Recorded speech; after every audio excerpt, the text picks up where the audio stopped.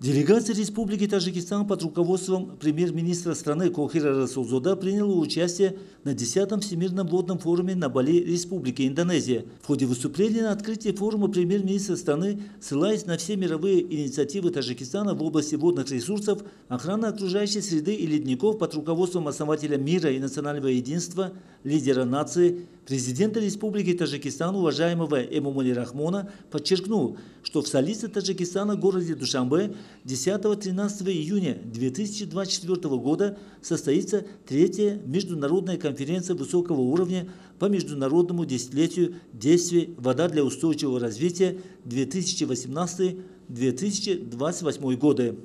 Наряду с этим премьер-министр страны от имени правительства Республики Таджикистан пригласил всех участников форума принять участие в третьей международной конференции высокого уровня по международному десятилетию действий «Вода для устойчивого развития 2018-2028 годы». В рамках 10-го Всемирного водного форума на Бали состоялась встреча премьер-министра Республики Таджикистан Кохира Расулзода с президентом Республики Индонезия Джоко Видода.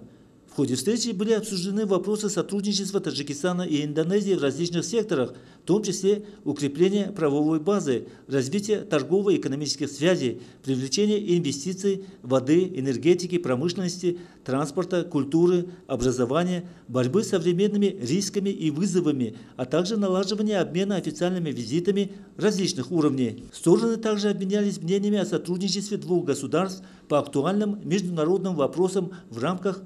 региональных международных организаций и международных инициатив Таджикистана, а также по вопросам проведения третьей международной конференции высокого уровня по международному десятилетию действий «Вода для устойчивого развития 2018-2028 годы» в Душанбе.